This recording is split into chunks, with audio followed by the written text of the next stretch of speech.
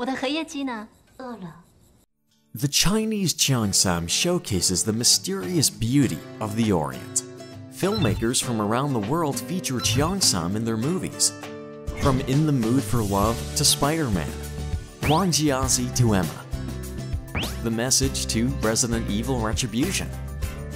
Cheongsam are appearing more and more in major Hollywood productions.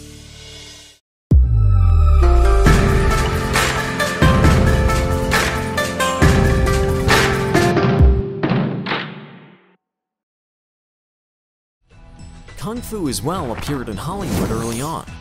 Generations of Chinese stars placed the term in the Hollywood lexicon. On IMDb, 2,032 entries are tagged with this keyword. Kung Fu's grace and elegance adds visual impact to films. And Yu Ping is my favorite. I think he's the best. He has this expertness and craftsmanship, and then just this wild imagination that he keeps putting in it. That's why they're. China's far-sighted and diverse culture is gaining ground amid globalization. Hollywood is no longer satisfied with scattered details. Chinese stories are being written into Hollywood scripts, attracting different generations of global audiences. For example, the story of Mulan.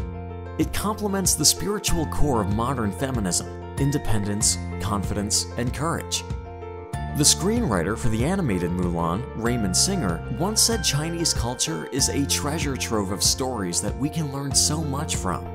In addition to these treasured symbols of Chinese culture, the giant panda has attracted a global fan base as a harbinger of peace.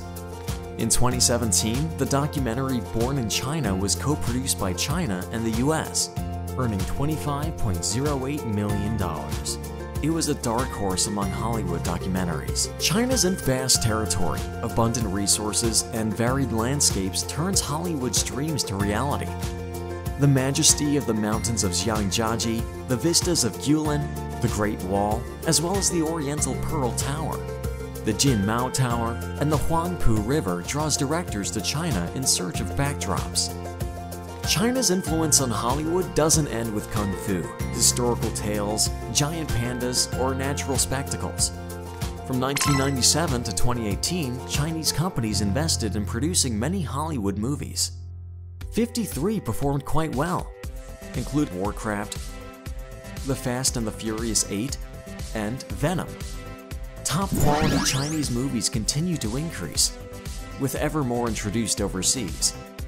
They could not have performed so outstandingly without advancements in China's economy. In 2012, China overtook Japan as the largest international box office market. 2018 was the mainland's seventh consecutive year at number one, with a box office of $9 billion. This huge potential is inviting to Hollywood producers. Farewell My Concubine, In the Mood for Love, To Live, and Red Sorghum won grand prizes at international film festivals. They elevated Chinese roles in Hollywood from flash-by nobodies to leading characters with prowess. From extras to judges at international film festivals. From consumers to producers. Chinese elements have become Chinese stories that are influencing the way Hollywood progresses. Hollywood's acceptance of Chinese culture results from international demand and validates China's soft power. The Chinese movie industry has made its quiet entrance onto the screens of Hollywood and put its true colors on display.